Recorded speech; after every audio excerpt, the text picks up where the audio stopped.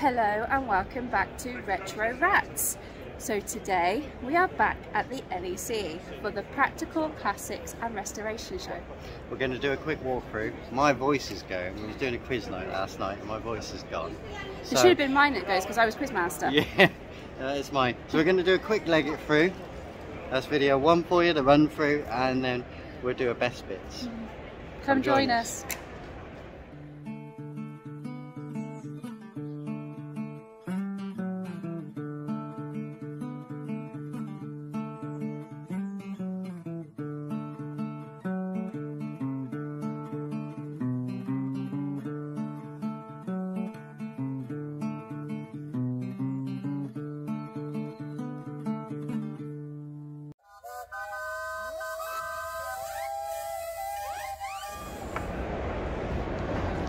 And here we are, the walkthrough. We are. So I'll follow you. You come this way? Yeah, I'll follow you and I'll just say what I know, which is probably not a lot, hey? But Petrolhead fans, you're here with us today.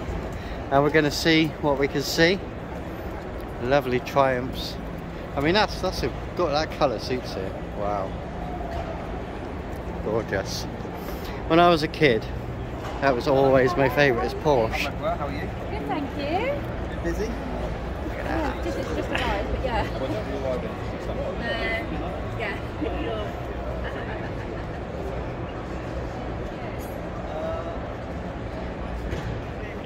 Well, we had a few um, lovely conversations, We so have. Paul's. So, do you want to give us some shout outs? So we've got Adrian, who is Who did a the re- fellow Retro Ratz. Yeah, with with his lovely Cortina here. We'll see that in a bit. We've also got Lyndon. Lyndon from Bury End Classics. Yeah, Uh, he's got two vehicles here. yeah, we'll spot them in a bit. We will.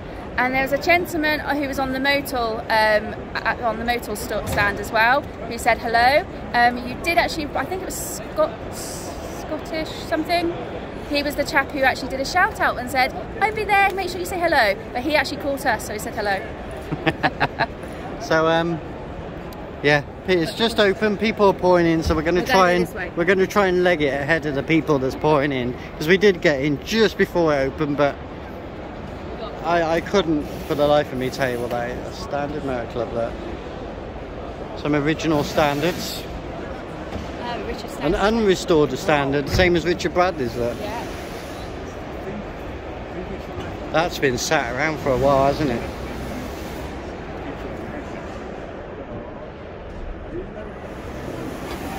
Standard was such a lovely car, but to be honest, I wouldn't restore that. No. I would get that back to road condition and just And lac- then- and just lacquer lacquer it as it is because it that patina is beautiful, isn't it? What do you think of that patina? I do like that. I won't rub it because uh, you know they've It hasn't been done yet. yeah they've left the dust on there for thing. reason. Obviously, do new tyres, lights, get it running, do a service. But the body wise, I would literally just That's lacquer that. a basic eight. That is a proper, proper barn find, isn't it? Very nice, I like that. Right, let's follow Peggy. Got the old Hillman Imps over there. Should we have a quick look? Have a look at gander at the Hillman Imps. Some MGs over there. Hmm. So Hillman Imp was made in Scotland. The factory was made in put in Scotland so that it helped recruitment. And it was partly funded by the government. And the government did it to try and obviously get employment up in Scotland. And um, they made a wonderful car. I, I, you know, you like the colour. Yeah. It's modified. There's something going on with that. It is It's modified, but I do like the stepped out, hasn't it? It is nice. Engines in the back, which I'll show you now. Bucket seats in there. Nice interior. There you go. There's the engine. They're only small. I think they're 650s. I think there's a 650 and a 750. Someone might be telling me there's an 850. I'm not. I've never owned a Hillman Imp. So I couldn't tell you. I just remember from my childhood days that they're noisy and if they're not set up right they don't go uphill. This is the stick you need. it's a good sticker isn't it? Look at that. Go on then show us. Yep, it's cool. No, I'm not going to paint it. Yes, that's a sticker. Yes, very good. That's lovely. That is lovely. I love the the, love the chrome fins. That's so that's a singer version. Is it a singer? The only Singer I know is a Singer Gazelle, but I don't think it's going to be called that. It's a Singer badged, but I don't know the name of that. It's very nice though. Yeah, that is a rare car. There we go, look at that. Hillman. Me and Peggy was offered a Hillman at a show in Oxford that we did about a year ago. Every panel on it was hanging. It literally needed full renovation. The price was a little high end for how bad it was, but he drove it there, so, and it was at a show. But me and Peggy liked the patina on it. Um, if you go back through to the, the sort of Cowley Day shows, you'll probably find it in our videos.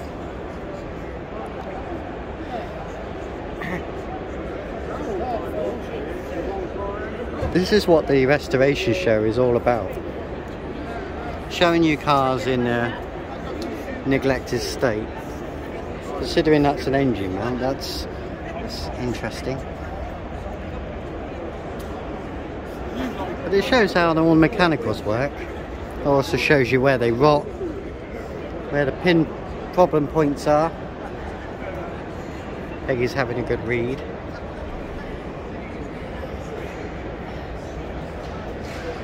Has to be restored. Here you go. Here's a question for you. Can they get this car, it's got no registration documents, some parts are missing, back on the road? Or would it be more useful as spare parts to keep other Superminx cars running? Yeah, split down the middle. I would say they need to do it. Uh, yeah, it, well, the decision would be if you've already got one or two and you need a spare car, then that's the way forward. But if it's the only one you got and you can get bits for it and they're rare, was involved in an accident and it was purchased by its last owner for restoration Yeah. in the early 70s. oh wow. it's had been a sat bit of around longer done. than me.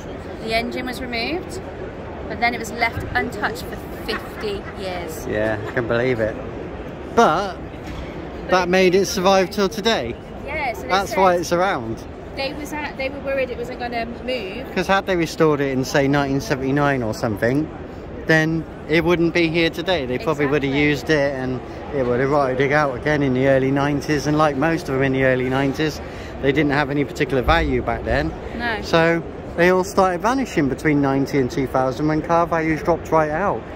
Now car values are creeped right back up because people are using it as, as financial assets, like Yep. banking really. Yep. And I don't think that trend is going to change now. The fins are lovely, aren't they? Look at those fins.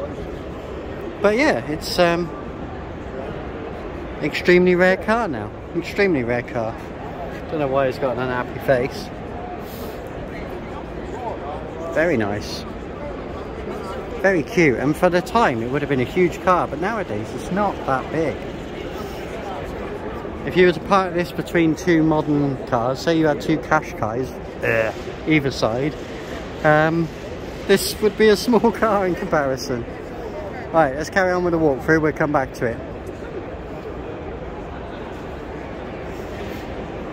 MG Midgets.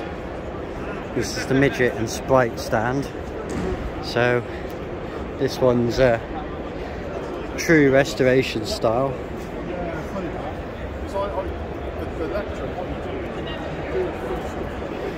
Anyone who knows, I had a midget in the garage and we did a video on it.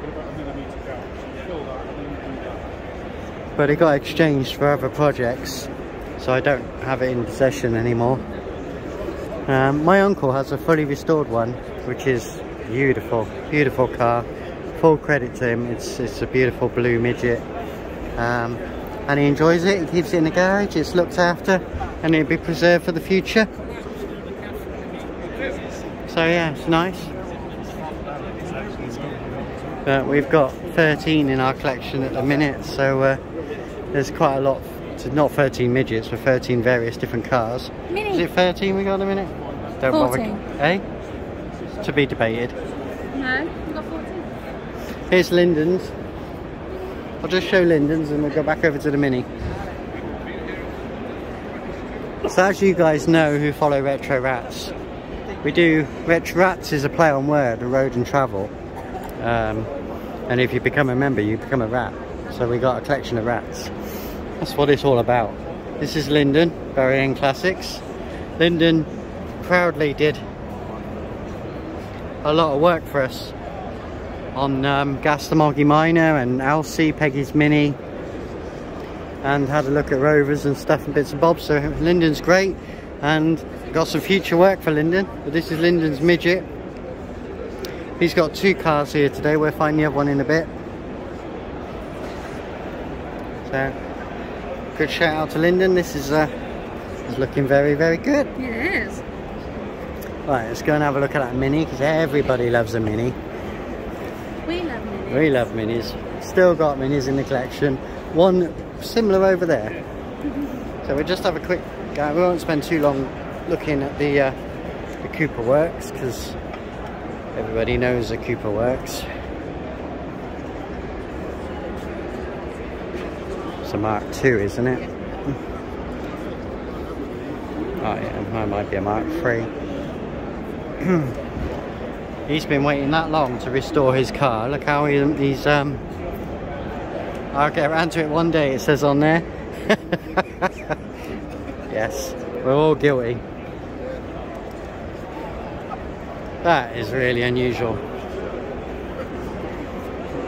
Is that? Yeah. That is an unusual car. I'll get around there in a minute, I'll just wait for the people. There's a beautiful, beautiful clubby estate there. So we've got a clubby estate, we've got Olive, um, going to be doing work on Olive this year. Ours is a 1976, this is a 1972. Let's go and have a look. Ah, there's one for Harry. There you go, Harry. Harry Smith, who loves uh, Smithy's bits on Instagram, loves his bikes. Seats are missing. original steering wheel. Very nice love an estate. And if you get an estate or you've got a chance to own one of these wonderful cars, keep them on the 10s. Ours is on the 10s with the original hubcaps. Just a lovely look. Oh, that's a lovely car, isn't it? Peggy says I'm not ever allowed to sell. No, you're not allowed Olive, to sell Olive. Olive is staying with us until the day I die. And I'm glad for that decision. That's a Scimitar there, a Scimitar GTE. They're um they're a fiberglass body, and they have huge engines, 2.5 litre I think. So do a 3 litre version as well. Um, let's have a look under the bonnet. Set back there.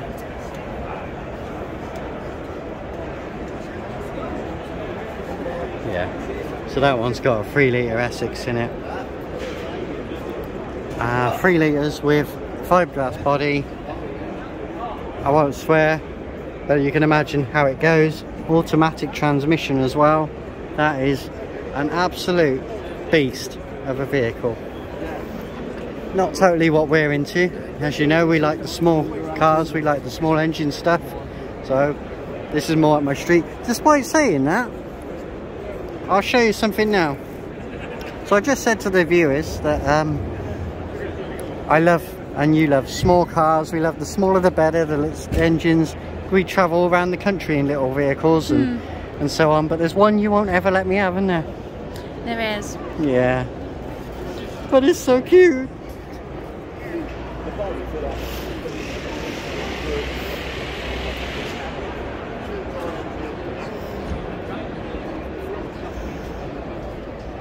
Get nice warm legs when you drive them because the, the engine sits between that foot well between that panel in the middle and um, you get nice warm legs. Alright. Lovely motor. Lovely motor. Total credit. A lovely chat there and I'm hoping we can put that as a feature mm -hmm. on a future videos. Yay! Hey, fellow retro rat. We're going to send some stickers out you have to ignore my voice today, as I said earlier in the video. Um, We did a quiz last night. We're part of the Wilts and Berks Canal Restoration Trust.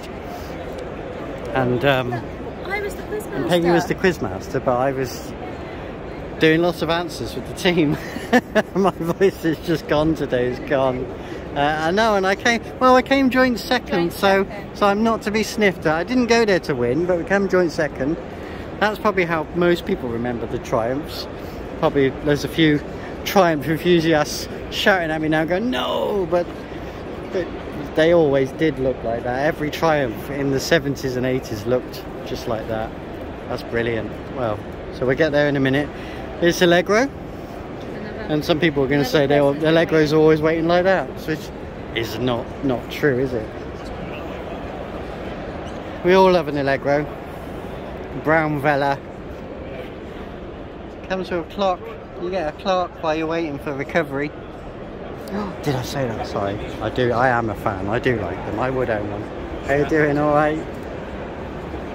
I do like them. I am a fan. He's been waiting a long time too. Yes, yes, he's been waiting a long time. I um, if the opportunity arose, I would own one. I'd put one in the collection. Whether Peggy would let me have one in the collection, I don't know. But It's in Austin. Uh, so Peggy says I've just semi-approved it.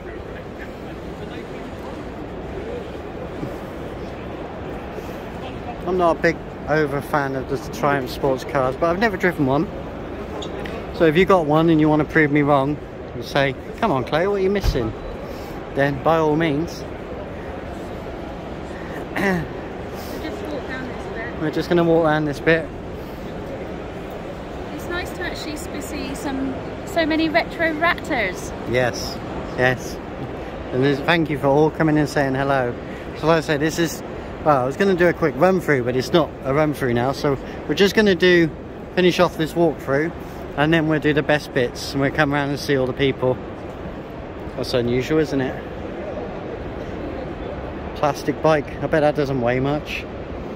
I'll come back and have a look at that in a bit. What I like about this show compared to some of the other shows that you get is this is a practical classics and restoration show. Yes. So you get people working on that, on parts and cars, and it just you. works. It, it's really nice to see that people are getting their hands dirty. Yeah. And sharing knowledge and experience and stories and and that's what brings people together. The cars bring the stories. Starting to sound like uh, an advert for a certain auction firm up north now in Yorkshire. Uh, but um, no. Stories of, of how they have lived, they have done adventures. So there's an uh, police car there. We look at all these know what travels they've been on, what journeys they've been well, on. when I was a kid, we used to go to a place called Haynes of Challow, and it was probably five acres of abandoned cars where left they were left in a in a field for months on end, and people would go there with their toolboxes and strip parts out. And that's what everyone did back in the in the 80s and the 90s. You always find cars in streets with multicoloured body panels and so on. And um, and I, as a kid, used to traipse around it and look in the boots and the glove boxes and take in the smells of the cars and and wonder what the stories were and the journeys that they'd been on and so on. And um, and I miss that now because scrapyards like that are far and few between now because modern scrapyards, modern cars don't do it for us. See, I don't mind seeing cars where they've been completely restored, redone like this, Hmm. but I prefer seeing them in that state. Well, that's why we're never going to respray gas because we like Gas's originality, the patina that she's got. Though I did try to polish her last summer and that didn't go too well, but I think it was because it was in the middle of a heat wave. and the amount of dust that was on, on the site of the show, that's, um, yeah, it gives you a good perspective of how they're built, how they're repaired, and the simplicity of them. Modern cars are all laptops and computers and people scratching heads. There's, there's nothing to scratch your head about this. It either works or it doesn't. It's all mechanical. Needs an original steering wheel, but hey, they only just put that on to move it, so that's alright. I believe we've seen this one before. Is that a Morris? That's the Morris van. 1955. Okay, we'll come back to it in a minute. Let's carry on the walk through. There's that camper, that was the one they, they tried to sell us last time. Yes. I've got enough camper vans. it's lovely though, it is lovely. British Motor Corporation, a rare survivor. There isn't many of them left at all, at all. That is a very rare beast. Riley Club. These are getting rare now. Vauxhall Calibra. I know there's a standing joke with people who know me personally about Vauxhalls, but um, you've got to give the Calibra credit. It was an iconic car, and um, it is, it is, it is a thing of beauty. But um, no, would I want to own one? Afraid not. Didn't they call that the Belmont, or was Belmont an addition? The estate car. Oh, there's a gem. There's an absolute gem. That's a Bedford Midi long wheelbase. That's one of the last ones, our edge. Bedford Midi long wheelbase. Mm-hmm. With a high top. That is a gem. That's their column change. They are two liter, 2.4 liter column change. Side sliding doors. It's it's the big brother of the Bedford Rascal van. Beautiful. Absolutely loved it. We had a Bedford van, had a Bedford Midi van for about a year. Back in the late 90s. Loved it. Um, the only reason why we didn't keep it, my son at the time was about two years old and it, was, it wasn't really practical because when you put seats in the back of a van and you got a two year old, they tried to get out. so we went back to a, a Metro at the time and then, then ironically after, after the Metro died, because I didn't know the mechanics that I know now and the bodywork. That's the car we bought, the Citroen Saxo. Ours was an R edge. I wonder what this one is. It looks earlier because it's got black bumpers. That's an N, so it's slightly earlier than ours. Yeah, we had an R edge. We had one. We had that car. We had that car for three years. Rare now. You never see a Saxo on the road now. It's funny how cars disappear, isn't it? If you want to write in the comments below and guess, Peggy, should we ask you? Don't give the answer away to see your face. So people, their challenge is to write in the comments below how many cars they think I've owned between 1995 and 2023. Yeah, good luck with that one. You want to give a clue? Three figures? Three figures. Three figures. So there is not many cars I haven't owned. Um, all through different durations, all through different reasons. Um, but it's given us a good worldly experience as to to what things are about. That's a Skoda. Oh, I was going to say that's a Skoda Favourite, but is it a Skoda Favourite? Drive electric Almo. It's been converted, hasn't it? So that's that's been modified. It was a Skoda Favourite, not anymore. Give it or take it. I think electric has a future, but I don't think it's the answer. I think I think dual fuel vehicles should have the ability to go locally under 30 miles an hour electric and maybe use fuel on a motorway but who knows? Hmm, change of government change of policy might do it. Right so there's two over here that's very interesting. Sorry about the music. Skoda Favourite estate. Very rare beast now. And a Skoda Rapid. Very nice. Right because of the music in the background I might have to stop the tour and carry on in a moment so there's a nice little Fiat 126 there. Test drove one of them went to buy it a few years ago. Wish I had now but I didn't buy it at the time. The exhaust was blowing. I took it around Bristol streets up and down hills and had a tremendous headache afterwards and the chap was most disappointed I didn't buy it. Probably the smallest car. It was in competition with the Mini at the time. And um, to be honest it's almost smaller than the Mini but um, I've never put one of those side by side with a Mini but beautiful to see it if one come up now definitely that is one hell of an index I mean, I've seen some wonderful metalwork that might come out, but gosh, that's some indent. Seen the indent on this roof. Want a water catcher, water feature in the garden? No. I Fiat Cinquecento. Is that how you say it? Cin Cinquecento, Cinquecento. And um, so we're just going to go up here and then that's the bay, that's the, the little later one. The bigger one was called the Uno. ADO 16 was the model number. It's a Princess version. Multiple, multiple badges and marks and so on. Generally, it was only the dashes and the grills that were different. The um, the car, in essence, was the same car. That one's got the huge 60s style grill, Um, but they're all made under the ADO 16 title. Peugeot 306 Cabriolet. Volvo, is that a 740? Nice little Rover 25 there. And then we got the Rover 800 stand beyond that. So I'm going to go now. We're going to wrap up the um, we're going to wrap up this this walkthrough and we're going to save all the best for the best bits feature. So stay safe. Stay retro, people. See you, see you soon.